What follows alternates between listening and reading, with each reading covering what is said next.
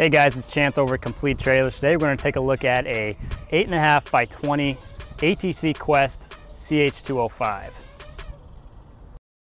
One of the big concerns people have is not sacrificing internal space for external length. A lot of people don't want to haul around a 24, 26, 28 foot trailer uh, just because of the size, the weight, you know, especially if you have an RV. If you're in that world, you know that keeping your trailer compact is really important, but you also need enough space to haul around whatever your vehicle may be.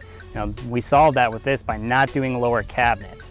Without doing the lower cabinets, just doing the upper cabinets, you end up with two foot extra space on the floor.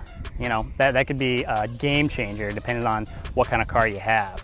And some of the features that this trailer has, which you'll find simultaneous across the, whether it's a 305, a 205, 405, whatever it is, you'll find some of this stuff is, is unanimous. The seven inch lower trim, four inch upper trim, the additional brake lights, all tubular aluminum frame, floor roof, and wall cross members are all 16 on center, which is a big win for durability and longevity. Not to mention framing on these ATC trailers is, is just top notch. You know, they use the highest quality weld tables, which ensures you're getting a straight frame every time. A lot of times where these lower end trailers fail is their framing. One of the most common features we've added on this trailer is the premium escape door, which you've no doubt seen in some of our other videos on a lot of our Quest trailers. It's kind of an ingenious way to get your car loaded and get out. You don't have to worry about winching it in or trying to crawl through a window. It's pretty handy. Obviously, if you look at ATC trailers, that's probably one of the things you've seen. Some of the other features you'll find on the exterior of this trailer would be a GFI protected 110 outlet, shore power, the standard 2 and 5 16 locking coupler,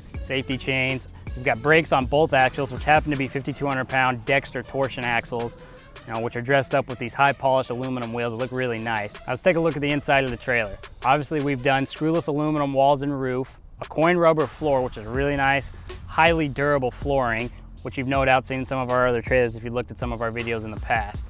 We've got that upper cabinet row that I talked about. No lower cabinet for the space, of course. 12 volt battery to power your lights, interior and exterior if you need them. You've got 110 outlets throughout the trailer, three to be exact, that are to a 30 amp breaker with a converter so you can get that battery charged up when you're running down the road. It's a trickle charge, it's not a huge charge, but it is something. 18 inch LED lights that really brighten up the inside of that trailer. You really can't beat them. And you've got those nice and seamlessly recessed into the roof. So it just is a clean look.